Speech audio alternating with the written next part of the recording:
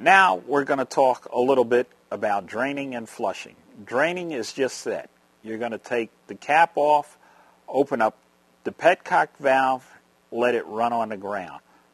Flushing, it's usually hooked up to a machine that will push the fluids and contaminants out, uh, leading to uh, power, like power washing your system, where all the crud and silt or rust will come out and they'll be able to uh, winterize the cooling system after that.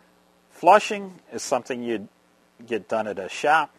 They have the proper means of disposing whatever contaminants that come out of your uh, cooling system, where at home it will be in your driveway running down the street, which could lead to a fine.